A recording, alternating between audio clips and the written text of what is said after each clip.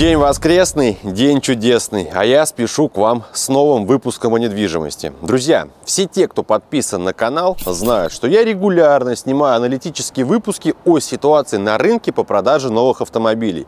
И 8 марта этого года мы снимали подобный сюжет, но о рынке недвижимости, что на нем происходит. И тогда агенты по недвижимости, риэлторы рассказывали о том, как все шикарно. Народ вкладывает деньги, очереди, телефон разрывается от звонков, скупают все, что видят. Прошло с того момента практически два с половиной месяца. Я подумал, а почему бы нам не снять актуальный сюжет на конец мая 2022 года, где сегодня человек из сферы недвижимости нам детально расскажет, а сегодня-то как, есть ли спрос, что покупают, или же все вы сейчас узнаете по порядку. Но прежде чем мы начнем, я вам хочу показать шикарный московский дворик в самом центре Москвы. Прямо сейчас мы находимся на Причистенке 32. Место это называется самый московский дворик. Ребята, кратенько вам экскурсию проведу, а вы напишите в комментарии. Ведь дядя Дима мог бы для вас записать отдельный сюжет с экскурсией по интересным улочкам Москвы. Значит, раньше здесь была гимназия. И в этой гимназии училась золотая молодежь тех времен. Пару фамилий. Дети Достоевского. В эту гимназию любил приходить Лев Толстой для того, чтобы подискутировать с учителями на тему русского языка. Это интересно. Неподалеку здесь его усадьба, одна из, где он долгое время прожил. Но фишка заключается в том, что вот этот дворик подвергался когда-то реновации но при этом оставили примерно в таком же стиле, как это было сделано раньше. Но он немножко переделан. Вот объясню. Двухэтажное здание. А знаете, как оно называется? Флигель. Я неоднократно говорил всем тем, кто подписан на мои социальные сети, что люблю погулять по исторической части Москвы. И вот в этих местах зачастую снимают какие-то подсъемы для документальных фильмов, для художественных фильмов. Но вот здесь, например, можно шикарно снять зарисовочку для какого-то сюжета. Ну вы посмотрите, вот это обилие различных атрибутов передает прям душу этого здания. Прийти сюда с книжечкой, почитать, посмотреть, ты получишь колоссальное удовольствие, опять же, если ты любишь историю. Иди, пожалуйста, за мной. Старый почтовый ящик, как сделано, дверь. Ну, дверь уже более современная стоит, подъезд номер 6. Если мы пойдем с вами по кругу, двор такой закрытый. Сейчас на улице мы приехали, ветрище сильнейший стоит, но здесь, в принципе, нормально. Вы сами видите, волосы даже не летают. Конюшни Раньше-то время какое было? Не так, как сегодня, да, ты приехал, машину запарковал, пришел, поставил коня в стойло, все, пошел домой. У этого выпуска в описании есть тайм-коды, поэтому кому интересна тема только ситуации на рынке недвижимости, пожалуйста, открывайте и смотрите интересующие вас эпизоды. Но в процессе съемки мы познакомились с одним очень интересным человеком, который пустил нас в гости и показал, что происходит внутри вот этих помещений. Также случайным образом удалось попасть в подъезд одной из жилых пристроек и показать, что происходит внутри там. Короче, этот сюжет будет насыщен и по информации, и по атмосфере, потому что будет некий микс с зарисовками. Сходу ставьте лайк, ведь ролик получился просто шикарно. Знакомьтесь, друзья, или вспоминайте Дамир тот самый человек, который занимается недвижимостью, мне помогал покупать квартиру, давно работает по Москве и Московской области, на основании чего он нам сегодня расскажет, что же у них происходит. Расскажи кратенько, но по существу, март, апрель, май, вот угу. уже конец мая, что происходит на рынке недвижимости Москвы, Московской области, ну и на основании этого мы уже предположим, что и по угу. России то же самое. Ну, собственно говоря, что происходит? А, на данный момент а, можно сделать следующий вывод. Когда вся эта история началась, очень резко возрос спрос на ликвидные объекты в виде однушек и студий, вот, и покупали все за наличку. Вот, то есть э, к тому моменту уже рынок ипотеки был в полумертвом состоянии. На состояние апрель э, рынок был в состоянии таком, что э, те люди, которые что-то хотели купить или продать, они, так скажем, ну, это отложенный спрос, то есть люди уже были направлены, нацелены на то, чтобы изменить свои жилищные условия. И э, альтернативные сделки проводились, причем довольно-таки в больших масштабах. На состояние мая э, ипотечный рынок, в принципе, на вторичке мертв. А вот. Это можно, я думаю, легко очень констатировать. И в подтверждение моим слов будет э, отделение любого большого банка, даже зеленого банка, где центр ипотечного кредитования, вы можете зайти в любое отделение на этаж, где, который посвящен ипотечному кредитованию, увидеть, что там сидят 1, 2, 3 сотрудника, а людей нет вообще. То бишь картина получается такая, что в силу возросших ставок, угу. да, в первую очередь, да. а спрос на ипотеку мизер. А, стал отсутствовать, я бы даже сказал. Он, он, не, он не то, что прям понизился до каких-то низких значений. Вот э, за последние три месяца у меня была только одна заявка на получение ипотеки одна, когда в среднем это 2-3 в неделю. Дамир, вот людям внеси ясность. Существует программа там «Молодая семья». Сегодня нам рассказывают о том, что для айтишников Сбер признали IT-компании, соответственно, сотрудники потенциально работают как айтишники. Ну, mm. может быть, я ошибаюсь, но так, по крайней мере, пишут в новостях. Mm-hmm. Для них там должна появиться льготная ставка. Льготная ставка должна появиться на вторичное жилье, mm-hmm. на новостройки она была. Mm-hmm. Какие в реале ставки вот можешь сориентировать? Давайте по поводу льготных и э, какие вообще ставки вообще стоит рассматривать, какие программы есть. Э, значит, э, нужно понимать, что все льготные программы, они рассчитаны на первичный рынок, не на вторичку. Это первое. Ставка там какая? Зависит от застройщика. Там нельзя так сказать, что ставка вот такая определенная. Нельзя сказать, потому что все застройщики, у них есть какие-то банки-партнеры, которые какие-то партнерские отношения, и застройщик может субсидировать ипотеку. Ну, то есть в минус себе как бы продавая, а, помогать людям ипотеку выплачивать. Поэтому сказать точно какая ставка, все зависит от ЖК конкретно. От 8 до 14. В среднем? Ну, в среднем, да. А, значит, это на первичный рынок. На вторичный рынок это не распространяется. Кроме того, те, те льготные ипотеки, которые сейчас есть, они не подлежат дальнейшему рефинансированию. То есть, условно, если вы сегодня взяли за 14%, потом ключевая ставка упала там куда-нибудь в пол, и у нас как в былые времена ставка станет, условно говоря, там 7% в среднем по рынку, вы не сможете ее рефинансировать. Вот, это следующий момент. И еще один момент а, по поводу айтишных ипотек. Ну, вот это одна заявка, которая была, там был айтишник. И, собственно говоря, а, из-за того, что не, не было надобности узнавать эту историю, что с ипотекой для айтишников, а, я для этого, до этого не знал и обратился к своему ипотечному брокеру, постоянному партнеру, с кем взаимодействуем. Собственно говоря, ситуация для айтишников следующая. На данный момент нет никакого постановления. То есть, по сути, э, айтишная ипотека сейчас отсутствует такое понятие. Когда оно будет, неизвестно. Практически все банки не знают сроков, когда это постановление будет подписано. А, три банка крупных а, ссылаются на одну и ту же дату, конец июня. Вот. Тогда, наверное, будет. Сейчас постановления такого нет. Но здесь я немножко поправлю, потому что я делал публикацию в наш телеграм-канал, что мы будем снимать. Один человек мне угу. написал, что вот тут он не согласен в силу того, что он сам айтишник, он поддался, ему одобрили. Я выведу на экран эту переписку, но это исключительно для того, что, ребята, когда появляется что-то новое, оно меняется, кому-то угу. повезло далее, это то же самое, как было с кредитованием для ИПшников. Всем угу. рассказывают, идите, берите кредиты, приходишь, 5% из 100 дают, 95 говорят, да, это вообще нереально, угу ничего выгодного там нет. Слушай, всем всегда интересно, что же тогда будет и происходит сейчас с ценами. Доллар падает, ключевая ставка, ну, понятное дело, постепенно, но снижается. Спроса, как ты рассказываешь, нету. Но при этом, если хочется продать, то выход один – снижаться в цене до самого того момента, когда начнутся звонки. Угу. Стандартная история. Угу. Что в реале происходит с ценами на вторичку? Падают.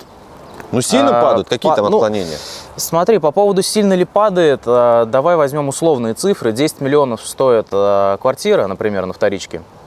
Но рынок падает примерно со скоростью 100-200 тысяч в неделю. Угу.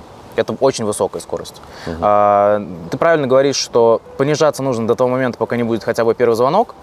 И здесь э, я не открою ни для кого какую-то тайну кромешную, скажу, что на падающем рынке, а сейчас рынок сильно падающий, а, единственный способ продать, кроме того, что мы говорим там про хорошие фотографии, описание, правильно там выработка стратегии по рекламе и так далее, поиск на целевой аудитории, а, самым важным является цена, как как, как, как принято. Вот. И если бы рынок падает на 100-200 тысяч рублей в неделю, следовательно, корректировка цены еженедельная должна быть больше, чем на 200 тысяч. Потому что если падать параллельно рынку, как это обычно бывает, на пад... падающий рынок у нас уже не впервые. Даже э, на, в истории моей карьеры, когда я только начинал работать, рынок э, был падающий. Поэтому я знаю, как работать с падающим рынком. И, собственно говоря, главная проблема и главная ошибка собственников, которые продают свою квартиру на или, там, другой объект недвижимости на падающем рынке, это падать в цене параллельно скорости падения рынка. Угу. Вот. Это получается такие две параллельные прямые, которые никогда не пересекутся. Для того, чтобы они пересеклись, надо упасть быстрее, чем рынок падает. Вопрос отсюда вытекающий. Люди, которые продают свои квартиры, снижаются в цене. Цель какая? Продать свою, купить, расшириться, уехать за границу. Угу. Что вообще хоть говорят-то? Очень много, как ни странно, стало людей, которые первоначально ну, родились в Москве и которые сейчас сменяют дислокацию. Уезжают? Да, в сторону юга. То вот есть это... они переезжают не за границу, а да, а на юг? Да, да. Ну, у меня за последние полгода очень много клиентов таких стало, больше половины. Я очень удивлен именно на продажу. Вот. А, что касается альтернативных сделок, то есть если ты говоришь, э, в Москве мы продаем и в Москве мы покупаем, то для них, как всегда, рынок, э, неважно в каком состоянии находится, так же, как и при поднимающемся рынке, так же, как и при опускающемся рынке. Альтернатива есть альтернатива. То, что они а, будут падать в цене по своей квартире, это означает, что они будут потом понижать то, то, что они хотят купить. Вот, поэтому на альтернативе это никак не сказывается.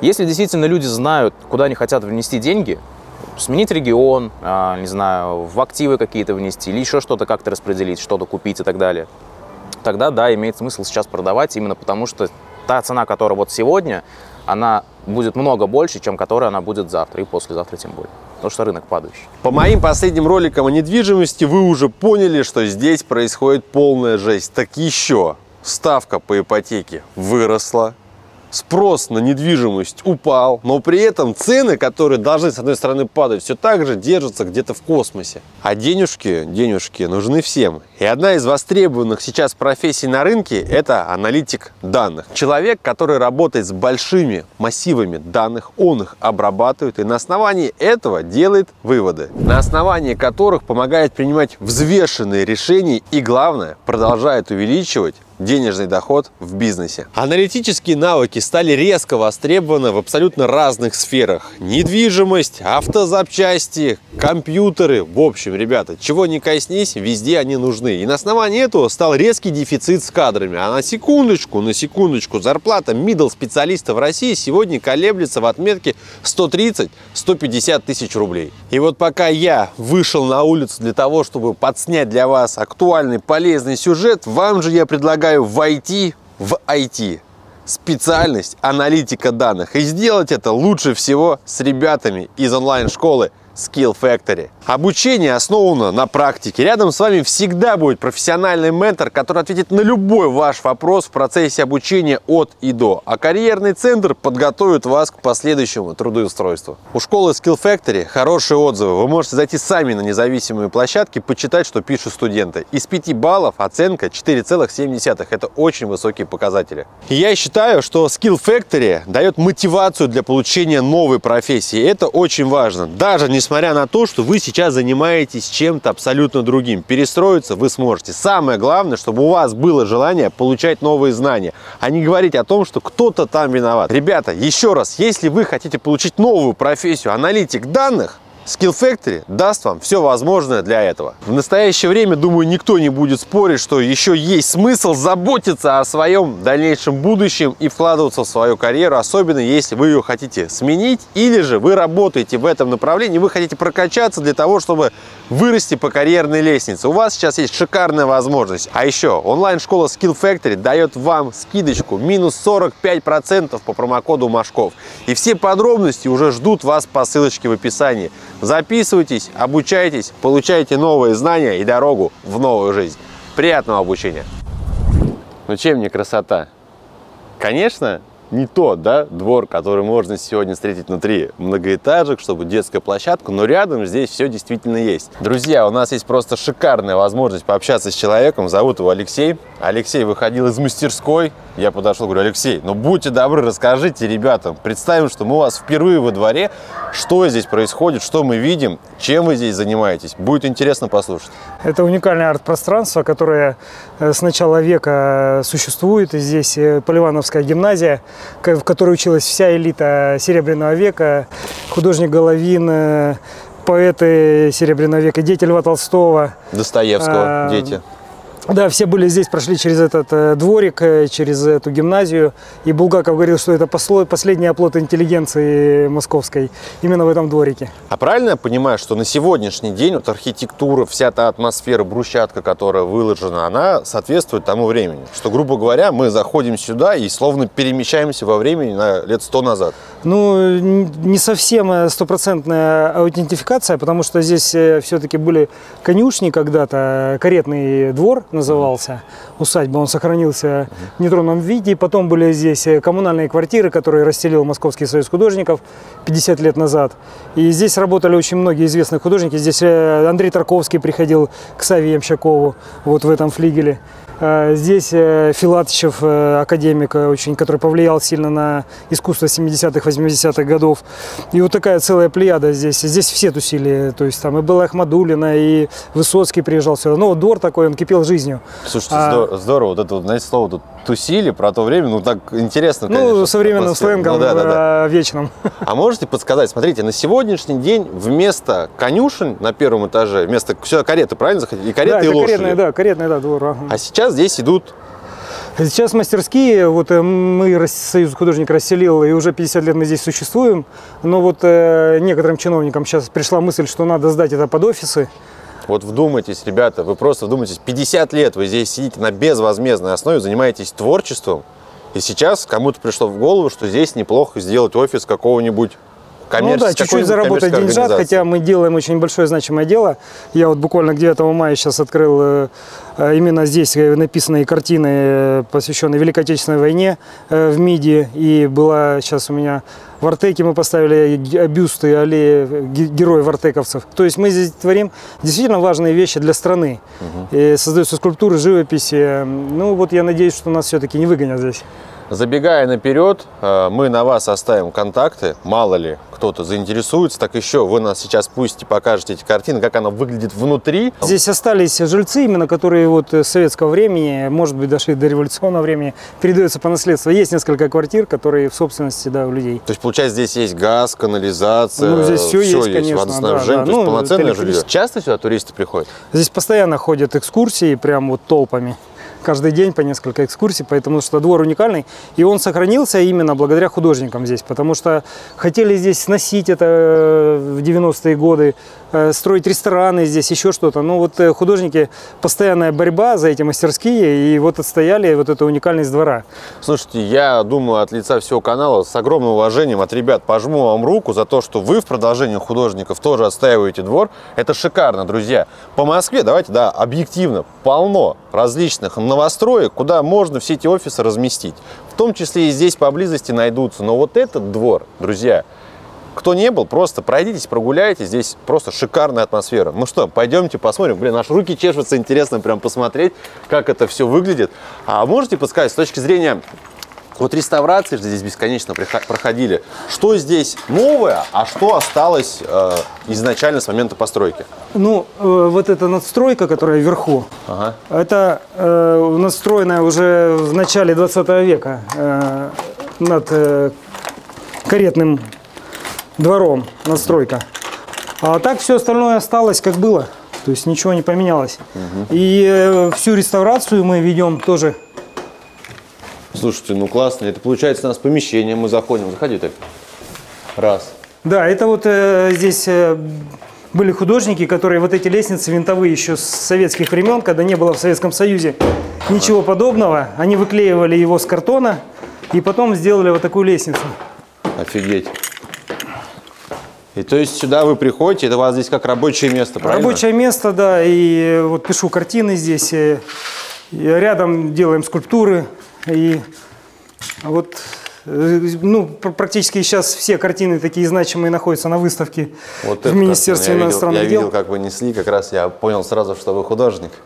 Слушайте, ну здесь шикарно, ничего себе, здесь прям ну, здорово. Ну, здесь хочется Музей творить. самый натуральный. Да, да. И э, самое уникальное, что здесь сохранились э, мастерские. Вот э, следующая мастерская, я вас, может, в следующий раз приглашу снять, э, Филатычева. Там уникальные картины, действительно, это уровня Третьяковской галереи, Русского музея. И я вот вас приглашаю. Здесь прям пахнет историей. А это все мои картины здесь, А, которые это вот находятся. что это вы- все мои картины. что мы видим, это всё вы написали? Да, да. Ну, вот я говорю, у меня сейчас большая выставка, более 100 картин в Министерстве иностранных дел висит. Слушайте, ну здорово, очень интересно. Я готов. Кто-то исполняет на пианино или фортепиано историческая часть города. Дамир, слушай, вот, допустим, вторичка, да, особенно вот старенькие домики, там частник, это всегда отдельная история при продаже. У человека могут быть свои видения по рынку. Новостройки, особенно этап котлована, из серии, что мы уже скоро объект сдадим, или он уже сдан.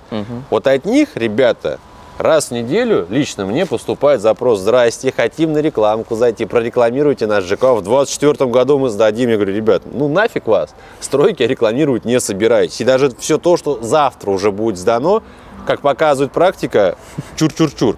Расскажи, что происходит у них, потому что я знаю, что в истории твоей личной практики они там впервые начали скидки прям реально какие-то делать или как? Это мы про пик если говорим. Ну, Пик действительно никогда скидки не делал. По крайней мере, я не сталкивался никогда, чтобы пик делал какие-то скидки. есть.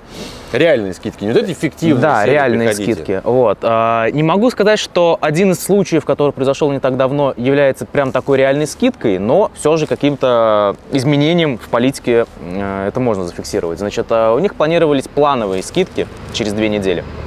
А, Значит, они нам согласовали на две недели раньше. Даже такого раньше не было. Сейчас есть. Это, ну, такой просто значок, такой э, красный флажочек, что что-то, что-то с рынком происходит. По поводу других застройщиков делают скидки. Прям реальные, вплоть там до 5-7%. Но это как происходит? Это больше происходит при живом общении. Да, Просто сегодня ты видишь, как люди уже все погрязли в интернете, и они хотят видеть все это вот на каком-нибудь там сайте а-ля ЦИАН тот же самый, там Авито, Фигита. Заходишь, и чтобы хотелось бы видеть, что тебе сегодня реально минус 700. Не пишут. Но в общении Да. А, ну, это как, знаешь, в автомобильном бизнесе, когда на сайте вроде бы производителя одна цена, но в салон приходишь и начинаешь торговаться, ну, как когда-то было, и тебе начинают делать скидки. Здесь то же самое. На застройщик, даже на сайте официального застройщика может быть одна цена, в итоге вы договариваетесь о более привлекательных ценах. Слушай, а есть вообще сегодня люди, которые, э, так сказать, с флагом идут вкладываться в новострой на этапе котлована, инвестиция вложить? Ну, такие люди были в марте, может быть, еще кто-то оставался в начале апреля, на данный момент застройщики все очень сильно воют, именно поэтому скидки, собственно говоря, происходят. И я в том еще ролике у тебя говорил, и сейчас подтвержу свои слова, что если собираетесь все-таки рискнуть и купить объект а, не готовый, пожалуйста, не покупайте объект, который больше, чем на полгода а, будет еще строиться. То есть, условно, если сейчас май, то если объект вводится в эксплуатацию позже, чем 1 октября, например, я, я очень сильно не советую, это огромный риск, который вообще не оправдан, учитывая, как рынок сейчас падает. Друзья, это очень полезная информация, и еще раз это слушайте, особенно все те, у кого глаза горят, кто видит красивые рендеры, и что им обещают. Вот-вот, вот-вот, ЖК сда- сдастся, мы ездим, их снимаем, везде одна и та же история. Вот на днях. Людям обещали, что скоро паркинг будет готов, 96% там кто-то рисовал готовность паркинга, по факту ничего нету, и жизнь превратилась из рая в ад. Ну, в кавычках, понятное дело, или даже не в кавычках. Поэтому подумайте сто раз. Ну и что на основании этого? Вот застройщики говорят, нет никакой информации. Вот все кричали, что сейчас будет дефицит со строительными материалами, стройки все встанут, никто не будет покупать. И вместо того, что будут подтверждать эти цены, наоборот, начнут их повышать, потому что новые закупочные цены и так далее. Пред- предпосылок для повышения никакого вообще нет, цены имею в виду. А, Значит, а по поводу материалов, а, часть застройщиков у нас материалы эти делают самостоятельно на территории РФ, часть закупает откуда-то. Вот даже те, кто закупают, у кого ситуация плачевнее, они закупают, ну ты же понимаешь, что это они закупают не на месяц вперед, а даже не на два. На многие месяцы вперед, а если это крупный застройщик, на года вперед. Поэтому в плане э, материалов эта история, ну, как бы не так страшна. Страшна, что будет, когда они закончатся, и как скоро они закончатся. И поэтому те застройщики, у которых какое-то из производств на территории РФ, естественно, будут в плюсе. Например, тот же самый ПИК, если мы про него говорим, ну, самый крупный застройщик, невозможно Ну да. здесь не упоминать, а, у него свое производство есть в Подмосковье. Это, ну, ни для кого, наверное, не секрет, что они разрабатывают специально прям части дома и везут на непосредственно объект. да, Да, это да, конструктор, да, да. который собирается просто на стройке. Вот, а производится все в Подмосковье. Вот, поэтому здесь, я думаю, будет меньше влияния, но все-таки оно будет, потому что нужно понимать, что любое производство, оно зависит от многих-многих факторов. Естественно, цены будут повышаться на материалы, но спроса как не было, так он, я не вижу ни одной предпосылки, чтобы он увеличился. Но вот ты в этой сфере крутишься, не был там уже слушка о том, что какой-то хочет обанкротиться, который По сказал, застройщикам что, ну, нет, всё. сейчас наоборот, сейчас вся маркетинговая компания всех абсолютно застройщиков ориентирована на то, что у нас все хорошо, у нас все стабильно. То есть э, минимум паники, то есть эту панику, которая как-то там в зачатке начинает появляться, ее прям вот пытаются маркетингом все это заглушить. Естественно, ничего там не, стаб, не стабильно, ничего там не хорошо, многие застройщики вообще не знают, что дальше делать. Вот, поэтому закрываться такой информацией, если даже она и есть, никто не скажет. Спрос упал очень сильно. Вот раньше у тебя телефон разрывался, сейчас не разрывается. И не только у тебя, потому что ты э, ну, часть, часть, часть общей да? большой, скажем так, команды. Вот вы между собой в любом случае как-то общаетесь, там, с одного mm-hmm. агентства, с другого, э, какие мысли, что люди рассказывают. Вот, например, если в автобизнесе менеджера сокращают, mm-hmm. он еще там некоторые думают, блин, пойду-ка я в недвижку риэлтор. Mm-hmm. У вас что говорят? Это не лучшее время, чтобы начинать э, заниматься недвижимостью, мягко говоря, скажу. А, значит, по поводу спроса на услугу в целом. Я тебе говорил, что э, спрос на продажу есть, спрос на покупку нулевой, и когда идет спрос на продажу, э, очень тяжело людям как-то с людьми коммуницировать и людям, давай прямо скажем, продавать свою услугу. Почему? Потому что а спроса нет. Подпишешь ты с человеком договор, выйдешь ты в рекламу. Ну, дальше нужно просто давать человеку правильную информацию по рынку. То есть здесь ценность главная в чем? В том, что есть понимание, что происходит с рынком вот каждый день. Вот. Э, я сразу людей всех ориентирую на то, что то, что у вас в голове, какие цифры у вас есть по квартире или там по другому объекту недвижимости, скорее всего, будет сильно отличаться от того, что есть в реале. Вот, это важный момент. Вот. Другой момент, что э, Пик Брокер, то, что мы с тобой обсуждали, это, ну, грубо говоря, агентство при пике. У них была очень сильная такая маркетинговая компания. Почему мы про него говорим? Это как пример одного из агентств. А, у него была очень сильная маркетинговая компания последние два года. Вот. Ну и, собственно говоря, штаб там сильно сокращается. Вот. Э, скорее всего, действительно, пикброкер – это история ненадолго. Не, не Агентства, скорее всего, будут многие закрываться, потому что ты должен понимать, что когда большой очень спрос на услугу, людей очень много. Сейчас, э, так же, как и в автобизнесе, как менеджеры сейчас сокращаются, ну, кто-то же остается работать. Здесь то же самое, кто-то у нас останется работать. Останется работать тот, у кого большая клиентская база, наработанная годами уже. Вот. А начинать сейчас работать в этой сфере вот сейчас вообще нет, потому что сейчас э, очень сильно перенасыщен рынок этой услугой, а как бы польза от нее стала меньше. На днях мне пишет человек, говорит, вот сейчас самое время открывать франшизу. Друзья, рассказываю вам как есть. Франшиза заключается в том, что ты покупаешь агентство недвижимости, там вывеску тебе дают, и пошел-поехал. Я говорю, слушай, кому они нахрен сейчас нужны? Вот ты это, собственно, подтверждаешь, что спрос нулевой. Он высказывает следующую мысль. Ну смотри, просадки недвижки были всегда, мы предполагаем 6, ну ладно, 9 месяцев, короче, либо к концу года, либо к началу следующему. Угу пойдет, пойдет постепенно нарастание, и все станет хорошо. Угу. Что ты по этому поводу скажешь? Вот если сегодня человек сидит, думает, так, надо же какой-то бизнес искать, альтернативу, угу. почему бы там франшизочку не взять? Он рассказывал, что мы там за месяц уже 80 франшиз продали, то есть 80 угу. агентств недвижимости угу. открывается на каждом углу. Я скажу, что с, не, не, с некоторой частью соглашусь, с некоторой нет. То, что э, рынок недвижимости не впервые находится в такой ситуации, спорно, потому что даже э, в момент пандемии спрос был. То есть люди звонили, интересовались объектом, но не ехали смотреть, потому что везде локдаун. Сняли локдаун, люди начали смотреть, рынок начал оживать. Здесь звонков нет. То есть нужно понимать именно самую, самую главную проблему. Тупо нет звонков, тупо нет спроса. Это первый момент. Второй момент – Э, может ли возобновиться спрос? Да, может. Это, естественно, временная история. А, значит, э, я расскажу, наверное, даже какие два момента могут рынок сильно реанимировать. Вот. Первый момент – это понижение ключевой ставки, что очень очевидно. И второе – это введение значит, э, льготной ипотеки на вторичный сектор. Вот, тогда да. Если, это, если нет ни первого, ни второго, э, этот, эта вся ситуация растянется сильно. Нужно иметь в виду еще следующее. Похожая ситуация в рынке была, это я уже по словам, не мой опыт. Конец 90-х, начало нулевых, когда, в принципе, э, спроса тоже практически не было, у людей не было денег. Э, агентства недвижимости существовали, частные маклеры на тот момент они называли, существовали. Значит, что они делали? Это альтернативные сделки. То есть, естественно, сейчас. Э, увеличится спрос на альтернативные сделки. Это мы продаем одно, покупаем взамен другое, и что-то мы наскребли, вот, вот разница. В таком случае, э, э, значит, ценность услуги намного выше.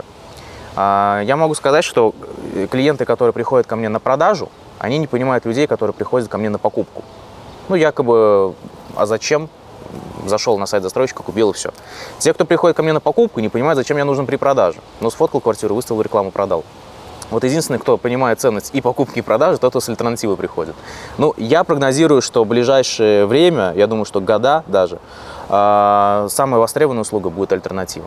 Вот я от себя хочу просто добавить, что помимо понижения ключевой ставки, льготных ипотек, самое главное, чтобы была стабильность и хотя бы какая-то уверенность у людей, в первую очередь в работе и в завтрашнем дне. Потому что у кого-то наверняка деньги-то есть, еще там скоплены, но он просто не понимает, сейчас залезет в ипотеку, а что будет, если завтра там бизнес, как говорится, его схлопнулся, свое, или ты наемный сотрудник, да, тебя уволили, и все. А оплатить-то чем? Вот это вот угу. многих, конечно, останавливает. А альтернатива, конечно, здорово, когда у тебя есть, там, не знаю, там, энная сумма, ты продал свою, добавил, и вроде угу. как ты расширился. Но это шикарно. Это, конечно, да, в этом логика Но есть. это, это меньшинство. Ну да. В основном спрос идет э, и с помощью ипотеки какая-нибудь первая квартира, ну, просто у меня такой возрастной сегмент, наверное, то есть у меня самый популярный возраст а, моего клиента это порядка 28 лет.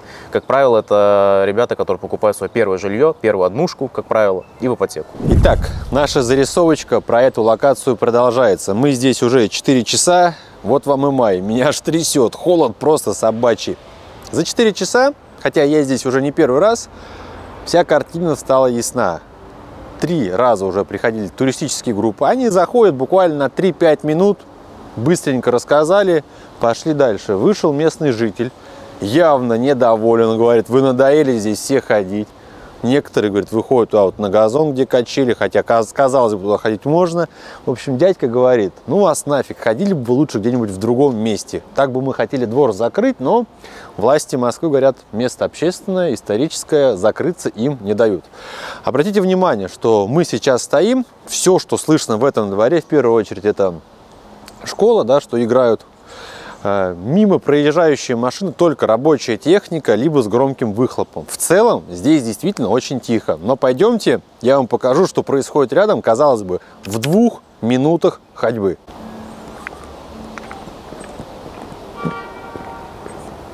Мы выходим с вами из двора, просто представьте, что вы здесь живете. Куда мы попадаем? За моей спиной улица Причистенко. Здесь рядом находится еще и Остоженко. Это в простонародье Золотая миля. Про это я снимал отдельный сюжет в 2020 году. За первые сутки ролик набрал тогда 50 тысяч просмотров. Я думаю, ну и фиг с ним. А потом он перескочил за миллион. На сегодняшний день могу сказать одно, что снял бы интересней, но тем не менее ссылочку оставлю, кому интересно, посмотрите. Пойдемте подойдем поближе. И вот здесь уже совсем другая картина с точки зрения шума от дороги. Хотя 60 км не более, но в силу того, что высотные дома, шум серьезный. И многие говорят, что как раз люди, которые покупают квартиры себе вот в этих дорогих домах, этому недовольны. Опять же, шум от дороги плюс пыль. Здесь постоянно пролетают кортежи с мигалками. Если в течение дня здесь вообще пошататься, друзья, вот говорю, Москва, не Россия, особенно все, что находится внутри Садового кольца. Иной раз, когда идешь, такое ощущение бывает складывается, что здесь одни кругом Мерседесы, Бентли, Роллс-Ройсы, Мазерати и так далее. Раз, дорогая, два, три, четыре. Просто делюсь с вами наблюдениями. Но в первую очередь делаю акцент на то, что вот она вам кардинальная разница. Два, две минуты ты во дворе, да даже какой две, там, полторы минуты ты во дворе, тишина, спокойствие. Выходишь сюда, уже совсем другая картина. Важный и полезный вопрос, в первую очередь, конечно, для жителей Москвы и Московской области, которые живут в аренде. Рассказывают о том, что ну вот, пошла просадка по аренде. Угу. Отсюда хочу задать вопрос, так ли это и что делать людям, которые, допустим, живут в аренде, им вот рассказывают, что просадка пошла. Торговаться со своим арендодателем или же искать другой вариант? Вот расскажи, что тут происходит.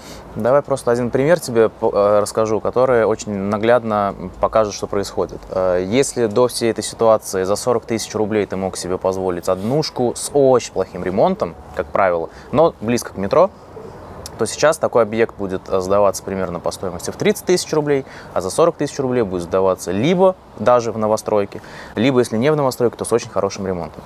А, значит, кроме того, тот объект, который стоил раньше 40, а теперь стоит 30, его сдать очень тяжело. То есть, если раньше срок реализации там был неделя, две, три максимум, то сейчас это может растянуться на месяцы. Вот, поэтому э, рынок действительно просел.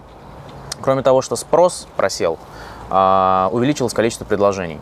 Ну, то есть люди начали съезжать, угу. и больше стало количество объявлений в рекламе. Вот, поэтому конкуренция увеличилась, спрос понизился, и это, естественно, привело к понижению в цене. Если вы уже что-то арендуете, естественно, это очень хороший повод для торга. Так же, как и были хорошие э, поводы для торга во время пандемии.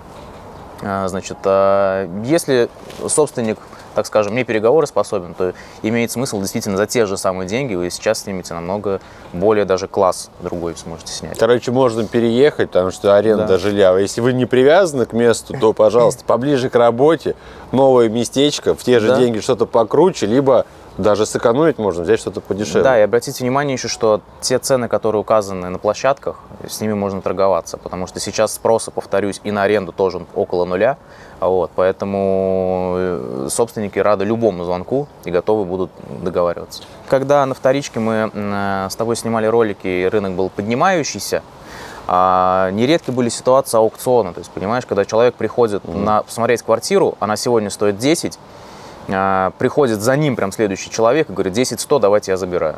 То есть не только э, скидок никто не делал практически, а еще и ценники задирали. Вот. Сейчас такого нет. А есть такое понятие, как рынок покупателя и рынок продавца. А сейчас, конечно, рынок покупателя, падающий рынок. Ну, давай так, смотри. Если, допустим, мы берем в рассмотрение, что квартира новая стоит там, 10 миллионов рублей, пусть это будет однокомнатная квартира mm-hmm. внутри Москвы, там, на вторичном рынке. Кто-то сейчас сидит и думает, так, если сейчас это все падает, то mm-hmm. я сейчас посижу, подожду, и за 7 миллионов ее заберу. Угу. Вот вопрос. Есть вообще какие-то предположения, насколько сильно это все может упасть? Это невозможно прогнозировать. Я скажу следующее. Если у вас была какая-то цель, например, есть многие люди, которые в определенном доме смотрят, либо в определенном районе, обратите внимание, что, скорее всего, за последнее время предложений стало больше в вашем районе или в той локации, которую вы ищете. Поэтому если есть какое-то предложение, которое, бы вас, которое вы долго искали, и вот оно сейчас появилось, я бы не стал рисковать и, ждал, и не ждал бы прям до самого опусти, опускания до дна, а, я бы просто держал в голове этот объект и параллельно связывался бы с собственником на предмет э, понижения Торга, в цене. Да? Да. Короче, реально полезный сайт, потому что некоторые ждут, ждут. Сам лично в такой ситуации был до этого, когда покупал квартиру, не ту, которую мы покупали, угу. а предыдущую хотел. Год она висела в объявлении, постепенно, постепенно снижалась. Угу. И когда я такой, ну ладно, вот я прихожу, а мне говорят, а все, год продать не могли, а вчера внесли э, задаток 50 угу. тысяч, поэтому чао, пока. Я думаю, блин,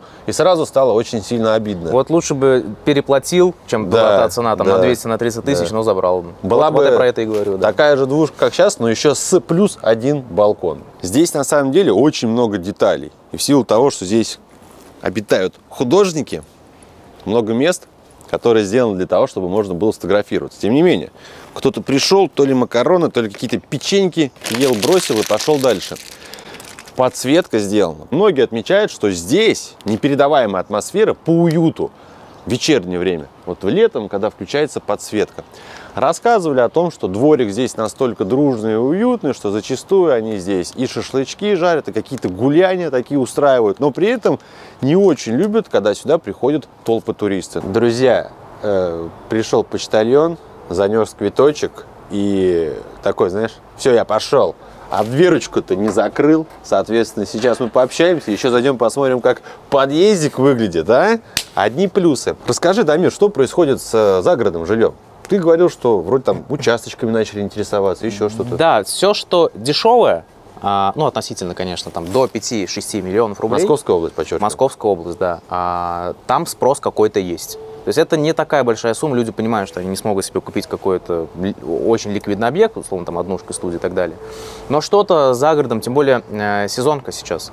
То есть где-то начиная с конца апреля, с мая сезонка начинает работать на загородную недвижимость. Она длится, кстати, на всякий случай скажу, где-то до позднего октября. Вот, потом рынок загородки, в принципе, стоит. Вот. А сезонка действительно имеется хоть какой-то спрос, то есть люди, которые продают земельные участки, либо продают какие-то, это даже таунхаусы, если сможете за 5 миллионов найти таунхаус, а, и отдельные дома, вот в любом статусе земельном, ИЖС, ЛПХ, СНТ, не, не суть важно. Главное здесь цена. Вот. Что-то недорогое э, в виде дач, либо домов для круглогодичного проживания, там хоть какой-то спрос есть. Мы сейчас говорим с тобой про земельные участки, вот объекты недвижимости до 50 километров от МКАДа, до, и э, что-то дешевое. Вот смотри, такой вопрос. Вот рынок автомобилей, я приводил пример, упал примерно на 90-95%. Вот плюс-минус по продажам. Рынок вторички за последние несколько месяцев, не вторички, а вообще недвижимости в целом, вот из 100% на сколько примерно упал? По цене? Нет, не по цене, а Или по, спросу, по продажам. По спросу да. очень схожие цифры. Тоже 90-95. Ну, я не, я не могу сказать, сколько это в процентах, но это очень схожие цифры. Сейчас, то есть, ну, нужно понимание иметь, что нормальная продажа, если мы говорим про обычный рынок или поднимающийся рынок, неважно, нормальная продажа – это когда объявления смотрят, ну, в среднем человек 30-40 в день, человек хотя бы 5-10 добавляет его в избранное, и у тебя, ну, где-то один, максимум, там, два звонка в день. И это превращается все где-то в среднем, ну, где-то либо каждый показ, каждый день показ происходит, либо через день. Это нормальное состояние рынка, это значит, объект находится по хорошей стоимости, значит, ему интересует, и, скорее всего, в течение месяца, а, как правило, мы такой срок закладываем на реализацию, объект продастся по хорошей стоимости. Ну, а, просмотров сейчас на сайте в день в среднем у объекта, который по хорошей цене находится, человек 8. Ну, это, короче, коллеги твои смотрят. Короче, друзья. Это, наверное, мои, со- мои клиенты, собственники смотрят скорее. Хочу поюморить. Значит, когда мы с ним в марте общались, вот 8 числа мы Ага. э, записывали, ты и твои коллеги все рассказывали, ребята, народу просто пипец, спрос- звонки, спрос- все были спрос был довольны. огромный, да. Цены хотели на услуги повышать, потому что, ну, блин, 100 звонков, а я один. А сейчас, я говорю, смотри, ты маленечко осунулся. Подхуднул, нет? Нет, все нормально. В плане э, Подскопил? Подскопил? по- по- подушка имеется, так скажем. Короче, друзья, смотрите, э, подъездик приоткрыт. Ты знаешь вообще, что это такое? Флигель. А, уже я его научил. Ну, вот флигель, как нам показала практика, вон то и то здание я вам вывел на экран. Это пристроечка. На первом этаже, говорят, здесь есть квартира, и на втором. Представь, что это моя. Пойдем посмотрим. Просто зайдем, друзья, посмотрим, как выглядит подъезд. Здрасте. Вы все хотите выйти и никак не можете? Видите, какие люди здесь культурные живут. Девушка хотела выйти, видит, что мы снимаем, и даже не стала нам там мешать в съемке. Старые звоночки, все деревянное. Заходи, Виталь. Дамир, как агент по недвижимости, проходи, оценивай. Как ты думаешь, если бы здесь была квартира, например, на первом этаже площадью, там, пусть 45 квадратов, вот с таким фонарем, почем бы ее можно было бы здесь продать? Можно Дим, это самый дилетантский вопрос, который я слышу, наверное, раз 10 в день. Вот, как положено. По- Почем продашь квартиру или почем продашь объект? Невозможно это сказать. И любой человек, который вам даже вилку какую-то скажет, это дилетант, потому что, э, ну, скажу прямыми словами, за слова надо отвечать. Поэтому, если сейчас скажу какую-то цену, неважно какую, я могу ошибиться. Если ошибусь в большую сторону или в меньшую сторону, будут последствия. А такой вопрос. Вот смотри, это прям историческое жилье, и как там люди рассказывают, здесь они в частной собственности объекта. То бишь, это реально кого-то права есть. Я сначала подумал, что, знаешь, ну, городу принадлежит, там, временная аренда. Вообще есть люди, которые интересуются не новостройкой, не вторичкой из серии там в привычном виде, а вот что-то подобное купить. Приходят, обращаются из серии, найдите мне квартиру там в старом особняке, еще что-то. Это очень специфическая аудитория. Я скажу, что я просто, ну, как бы по классам распределю. Эти объекты, которые вот мы сейчас стоим рядом, это не ликвидный объект. Это очень тяжело продавать. потому да. что здесь как бы цена квадрата не позволяет опускаться ниже какой-то планки, а кто это будет покупать? Просто по таким же ценам сейчас можно купить объект в этой же локации, но в доме выше класса. Здесь вот реально можно снимать зарисовки для советских фильмов, если только вот еще двери не современные поставить, а старые. А так, конечно, необычно. Еще выход на крышу, на чердак. То есть пошел туда. В общем, не знаю, мне 32 года, а интересуюсь я тем, что интересует людей лет в 50-60. Если вдруг кто-то из вас проживает в центральной части города, возможно, снимает квартиру, вы знаете хорошо локацию, местность, историю вашего дома. Возможно, ваша бабушка, дедушка живет, и им действительно есть что рассказать. Давайте снимем совместно интересный сюжет. Но это ведь так круто. Я понимаю прекрасно, что сказать, ба, приедет человек, будет снимать, расскажи, как твое детство здесь прошло. Да зачем мне это надо, да зачем, да к чему? Вспомните просто сюжет, мы снимали про высотку, одну из сталинских, на Котельнической набережной. Ну, шикарный атмосферный сюжет, многим понравилось. Все хотят глубже, детальнее, потому что вот именно здесь создается прям вот действительно настоящий хороший контент. Поэтому, ребята, если кто-то хочет принять участие, вам есть что показать, рассказать, пишите, я с превеликим удовольствием к вам приеду для того, чтобы мы могли заснять эти сюжеты. Итак, друзья, на дворе конец мая, 2022 год. Общий вывод по всей картине и от себя какие-то наблюдения, прогнозы, если готов сделать, что людям ждать, ну, как минимум, хотя бы на ближайшие три месяца. Если продаете, продавайте, потому что так дорого, как сейчас, не продадите, а, но готовьтесь к сложностям, потому что продажа сейчас это сложно. Если что-то думаете купить, присматривайтесь. Я бы, наверное, еще сделал паузу и подождал бы по поводу понижения рынка. Но э, проявляйте инициативу э, среди тех собственников, которые готовы к переговорам. По поводу аренды мы уже сказали, что либо съезжайте, либо понижайте арендодателя в цене. А, по поводу ипотеки, наверное, здесь Каких-то советов давать сложно. Если айтишники, то имеет смысл обращаться и начинать мониторить всю эту ситуацию где-то с середины июня, потому что к концу июня будет, скорее всего, подписано постановление о, об этой ипотеке. В принципе, наверное, все. Загородка, единственная, очень бюджетная загородка, единственный сегмент, который, в котором есть хоть какой-то спрос. Друзья, не добавить, не убавить. Если вы работаете в недвижимости, у вас колоссальный опыт и вам есть что сказать, вы не согласны с Дамиром, пишите развернутый комментарий, кто вы, сколько занимаетесь, и дайте ваше видение по текущей ситуации. Вот таким у нас получился сюжет. Я надеюсь, вы услышали для себя полезную, актуальную информацию о рынке недвижимости. Но не забывайте о том, что все выводы исключительно делать только вам. Вас никто не призывает покупать, продавать. Думайте, размышляйте, принимайте решения. Наше время сюжета подходит к концу пришла уже моя группа, и мне нужно им проводить экскурсию дальше. Поэтому подписывайтесь на канал, пишите ваше мнение в комментарии, обязательно ставьте жирный лайк этому ролику. До новых встреч, всем пока-пока!